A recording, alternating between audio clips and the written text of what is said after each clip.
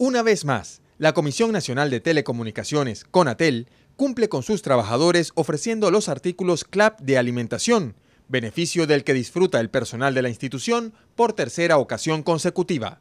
Todas las gerencias de ambas torres de la sede de las Mercedes recibieron gran variedad de productos de la canasta básica a precio solidario. Con el inicio del festejo de las Navidades, llega otra alegría a los hogares de la familia conatelera, que ya comienza a preparar la mesa para celebrar la fiesta más bonita del año.